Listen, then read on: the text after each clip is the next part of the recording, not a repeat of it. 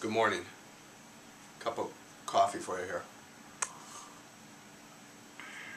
Welcome to my house.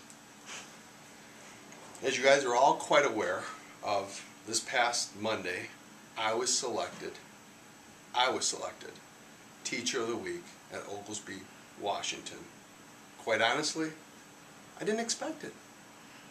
In fact, it's been a rather humbling experience, to say the least. I'm generally not at a loss for words, you guys all know that. But believe me, as I sit here before you tonight, please know how honored I feel. I know right now many of you are thinking, you're asking yourselves, or you're asking your neighbor, hey, what's Mr. F's story? Where did he come from? How did he get here?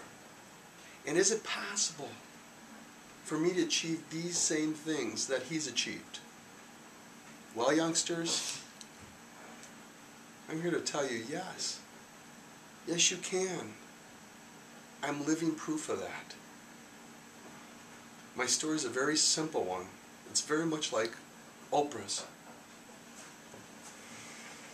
While she was born in Mississippi to a single mother, I was born in Alabama. Go Tide, baby. National Championship game, January 7th, against the Fighting Leprechauns in Notre Dame. We're going to kick. All right? Sorry, no. Excuse me. I was born to a single father in Alabama. Now, he was a sharecropper, and as a young boy, I had to work long hours under the hot sun in the fields. Oftentimes working 30 hours a day.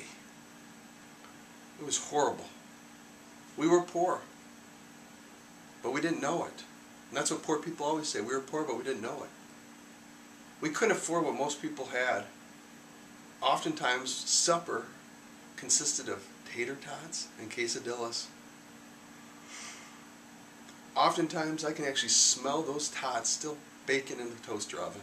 Brings back painful but yet wonderful memories of my childhood. But I remember making a promise to myself that I would rise above these conditions. I would work hard in school and get an education. Each day, I would walk to school 10 miles and walk home 10 miles. Walking those 15 miles each day made me realize I wanted to be a teacher. I wanted to make a difference. After all, how rewarding would it be to make kids do homework, to hand out detentions, and actually make kids run a mile? And that was it. I had a goal. I had a dream. I was going to be teacher of the week. This past week has flown by. I can't believe it's Friday. It seems like it was just five days ago it was Monday. And as you're aware, I've been trending on Twitter all week. I now have as many followers. I have as many followers as One Direction. And I understand they may be young, they may be handsome, wealthy, have great hair, and of course speak in a British accent. But can any one of those young men say that they are Teacher of the Week? I don't think so. People have been asking me, what are you going to remember most about this week? Is it going to be your appearance on the Today Show with Matt Lauer? Is it going to be brunch with Barack and Michelle? Oh, oh, hold on, hold on. I got a phone call. Yeah, yeah. What's up, JB? Justin Bieber. Yeah, what's up, dude? Sure, I'll be I'll be in that video with you. All right, baby, baby. Okay, yeah, cool. All right, yep. All right, peace out. Excuse me. While these have been all wonderful experiences, I'm most proud of my certificate from my esteemed colleague, Mr. Balestri, or as you guys are aware of, is Mr. B. In fact, I would like to read it for you. If you look at this closely, it says, I was caught. I was caught. but caught being good. And here's what it says, young minds be safe, be responsible. Oh no, sorry, be safe, be respectful, then be responsible, in that order too. But pause for applause.